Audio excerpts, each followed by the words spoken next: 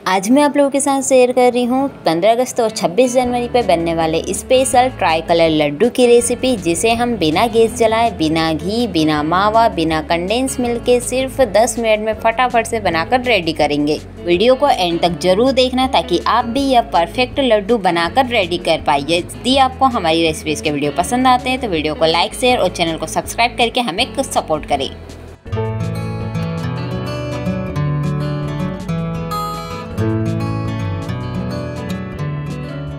तो यह इंस्टेंट लड्डू बनाने के लिए हम दो कटोरी नारियल बुरादा लेते हैं बारीक वाला। इसे डेसिकेटेड कोकोनट भी कहा जाता है। इसके साथ ही मैंने यहाँ पर आधा कटोरी मतलब वन फोर्थ भाग इसका पीसी हुई चीनी ऐड किया है इसमें और आधा कटोरी के बराबर यहाँ पर मैंने मिल्क पाउडर ऐड किया है। आप डेयरी वाइटनर का यूज़ भी कर सकते हैं। अब मैं यहाँ पर आधा चम्मच के बराबर पीसी हुई इलायची पाउडर डाल रही हूँ और इन सबको अच्छी तरह से मिक्स कर लेते हैं ताकि कोई लम्स ना रहें।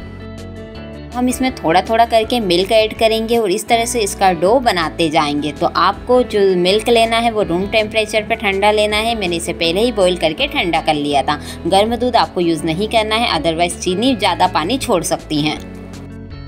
लड्डू हम एक स्पेशल ओकेज़न के लिए बना रहे हैं तो इसे तीन पार्ट्स में अलग कर देते हैं और इसमें हम तिरंगा कलर मतलब ग्रीन और ऑरेंज कलर ऐड करेंगे। वाइट तो ऑलरेडी यह रहता है तो वाइट कलर आप चाहे तो ऐड भी कर सकते हैं अदरवाइज़ नहीं भी। तो मैंने यहाँ पर ऑरेंज और ग्रीन फ़ूड कलर का यूज़ किया है। ये ड्राई कलर है तो मैं इसमें आधा चम्मच के बराबर पानी ऐड कर देती हूँ और इसे अच्छी तरह से मिक्स कर लेते हैं। आप चाहें तो यहाँ पर जेल फ़ूड कलर का यूज़ भी कर सकते हैं, लेकिन यह ड्राई कलर से भी बहुत ही अच्छा कलर आ जाता है। अब इस मिक्सचर में इस कलर को हम डाल देते हैं और अपनी उंगलियों की सहायता से अच्छी तरह से मिक्स कर देते हैं। आप चाहें तो स्पून का यूज़ भी कर सकते हैं, लेकिन हाथों की सहायता से ये बहुत ही अच्छी तरह से मिक्स होता है।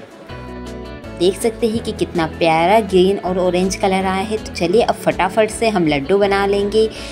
लड्डू बहुत ही कम प्राइस में बनकर रेडी हो जाते हैं। यदि बच्चे जीत करते हैं स्कूल में ले जाने के लिए या फिर घर पे आपको बनाना है तो आप फटाफट से बहुत सिर्फ़ 25 से 30 रुपए में यह 15 से 20 लड्डू बनाकर रेडी कर सकते हैं। तो इस तरह से हम हथेली की सहायता से लड्डू को इस तरह से गोल गोल घुमा लड्डू बना लेते हैं।